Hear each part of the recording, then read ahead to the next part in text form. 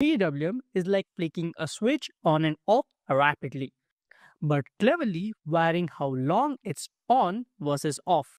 To keep this thing simple and logical, let's break down the entire PWM generator into three main blocks. First up, the triangular wave generator.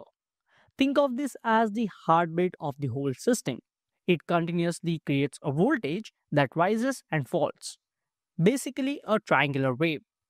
And this wave will be the reference for creating a PWM signal.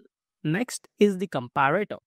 It takes in the triangular wave from the first block and the modulating input signal from the third block.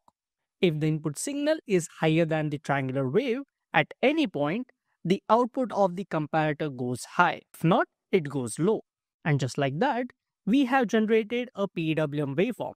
The third block ensures the PWM accurately reflects our input voltage.